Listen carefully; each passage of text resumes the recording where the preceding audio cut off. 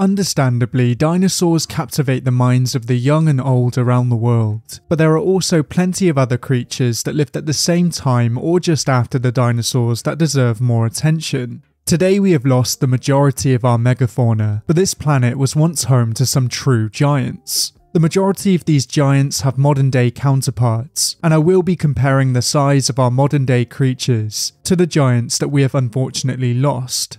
It's easy to forget that humans have laid eyes on most of these creatures, and in most cases, we are the reason behind their extinction. During our early dominance in the Pleistocene and Holocene, we learnt to hunt most of this planet's megafauna. This had a massive negative effect on their numbers, and human hunting, along with a changing climate, finished off many megafauna species. Even though some people are trying to bring them back, most of them are gone for good. But today I will be going through a few of them. To start off this video, we will be heading over to Australia, as we will be taking a look at the Diprotodon.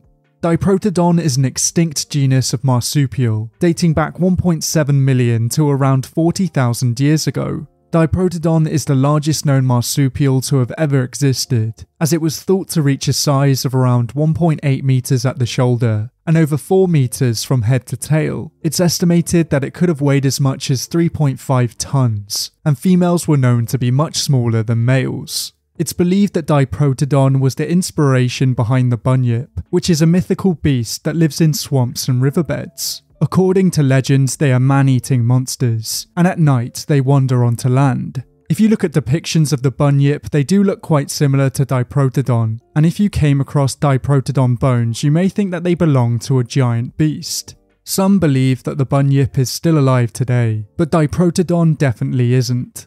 This genus was named after its incisors, and these incisors were thought to be ever growing. Its jaws would have been able to produce a strong bite force, and this could have given it some protection against predators. These predators would have come in the form of the marsupial lion, giant monitor lizards, and large extinct crocodiles. The diprotodonts were plant eaters, and they were thought to play a similar role in the Australian ecosystem as the African elephants do in the African ecosystem. It's thought that they fell victim to the expansion of Australia's human population, and it's also thought that large droughts also played a part.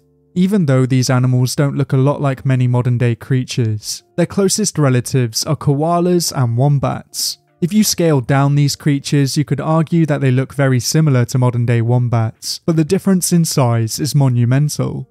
There are three species of wombat alive today. Two have relatively healthy populations, and one is critically endangered. The critically endangered species is the largest species alive today, as they can measure up to 1 meter long and they can weigh up to 40 kilograms. Even though this is a relatively impressive size, they are nowhere near the size of their ancestors, and it's a shame that we don't have giant wombats strolling around today. For our next giant extinct creature, we will be heading into the water, as we will be taking a look at Xiphactinus. Xiphactinus is a genus of extinct fish, and it was once found in the shallow waters of North America, Western Europe, and Australia. It dates back to the late Cretaceous around 90 to 65 million years ago, and this giant fish was a predator. It has an extremely long, streamlined body, and many fossils of this fish have been found with other fish inside of them. The majority of members in this genus were equipped with very sharp teeth and a relatively large mouth compared to their bodies. This allowed them to swallow extremely large prey, and I'm sure many people out there will be very happy that they're not still around today. Xiphactinus was the largest bony fish of its period, but it was far from the top predator of its ecosystem. Remains of this fish have been found inside of prehistoric shark fossils, but I think it's safe to say that this fish would have been very hard to catch. The largest members of this genus would have dwarfed most fish alive today, as it's thought that they could have reached a maximum size of around 5 to 6 meters. It's thought that a fish of this size could have weighed around 450 kilograms, and it was definitely a predator not to be messed with. Xiphactinus's closest relatives are thought to be knifefish, arowana, and arapaima, but you could argue that its modern day counterpart is the tarpon, there are two species of tarpon alive today, but I will be focusing on the larger Atlantic tarpon.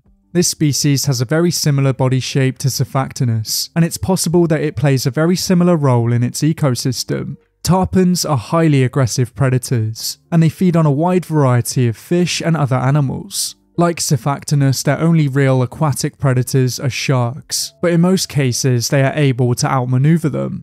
The Atlantic tarpon is quite a prehistoric creature in its own right, as they were thought to have evolved around 18 million years ago. This may explain their prehistoric appearance, and it's impressive that they have survived mostly unchanged for this long. Like many other prehistoric fish, the Atlantic tarpon is able to breathe atmospheric oxygen, and this gives it an advantage against its competition. This means that they can survive in areas with very low oxygen levels, and they could take advantage of ecosystems that other large predators can't. Even though the Atlantic tarpon is nowhere near the size of Xiphactinus, it is still a modern day giant. They can reach a maximum length of around 2.5 meters, and they can weigh up to 161 kilograms. Outside of the shark world, they are one of the largest predatory fish, and it would be terrifying to see a much, much larger one. For our final entry, we will be heading back on land, as we have Megacerops. Megacerops is a genus of prehistoric mammals, but it's also thought by many to include the species of other genera. These animals were odd-toed ungulates, and they were found in North America during the late Eocene, around 38 to 34 million years ago. These animals were large plant eaters, and the majority of them had large blunt appendages on the ends of their snouts. It's thought that the males used these blunt appendages to fight each other, as many of them had rib fractures that would support this theory. Of course, they would also use them for defense against predators, and during their time, they had quite a few. The reason behind the extinction of this genus is thought to be climate change and the consequent change in vegetation. The largest members of this genus were true giants, as they stood around 2.5 meters at the shoulder and measured around 4.6 meters in length. It's thought that an animal of this size could have weighed 3.8 tons, and this would mean that it would have to get through a lot of food.